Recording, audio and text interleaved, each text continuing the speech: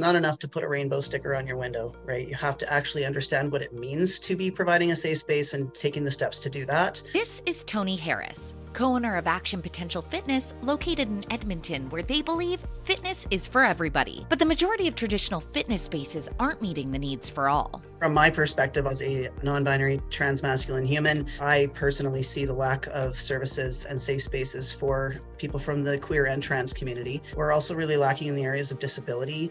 You also don't see a lot of racial diversity in fitness spaces. That's kind of why we do what we do here at Action Potential. Everybody's welcome here. We have gender neutral washrooms. The intake forms are quite a bit different than other intake forms. We have a lot more consideration for possibly some medical considerations or physical considerations, accommodations that might be needed for folks. You have people that specialize in different things. So for instance, you have Zita, uh, she's co-owner of Action Potential Fitness, but she's educated in the area of pain, pain management, and chronic illness. We have other trainers like myself that are trans, so I can speak directly to our trans members.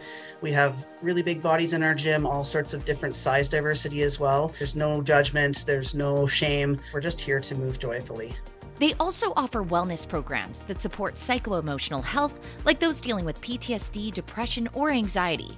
And they recently launched their latest session of Trans Formed, a fitness program by trans people for trans people. The interest was overwhelming there's all kinds of considerations if you are wearing a binder. There are certain things that are safe and certain things that are not safe. Uh, so our trainers are all really up to speed on that. When we're talking about hormone uh, therapy gender affirming hormone therapy can change things like your ability to thermoregulate. So we need to be mindful of the temperature of the space. It can have big impacts on your ability to stay properly hydrated.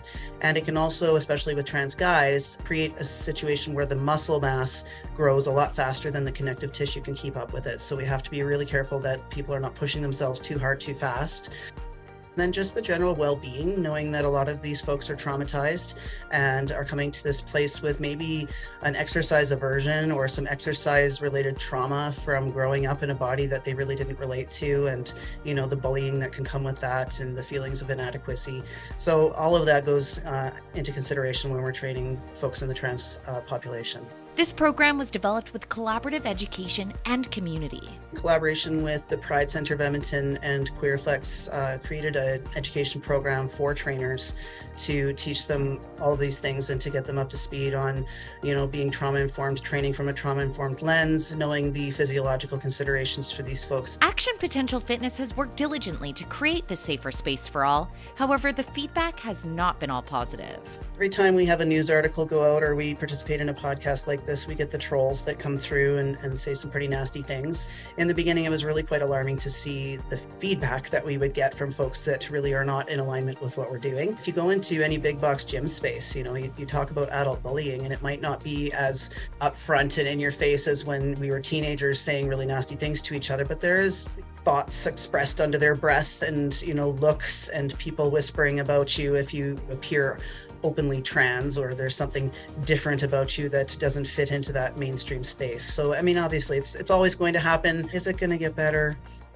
Maybe not, but we can create safer spaces where people can come and move their bodies and enjoy joyful movement. All of this is a stark reminder that the fitness industry has a responsibility to make diversity and inclusion a top priority and do their part to create safer spaces for all education is going to be the key component there. Maybe doing a self audit of your facility and asking yourself like what what do we have displayed on the walls even that might be offensive to somebody or that might make somebody feel excluded from this space? Taking a look at intake forms taking a look at uh, changing facilities. Do you have the ability or space to be able to make gender neutral spaces available for safe showers and safe changing?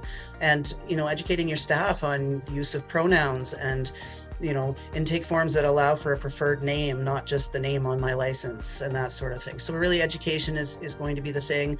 Um, hire somebody from your queer community. Don't ask for free labor, but hire somebody from the queer or trans community to walk through to give an actual eye of the lived experience of somebody that is queer or trans to tell you as the fitness uh, professional what you need to do better in your space. You've just watched All Things Fitness and Wellness, brought to you by the British Columbia Personal Training Institute.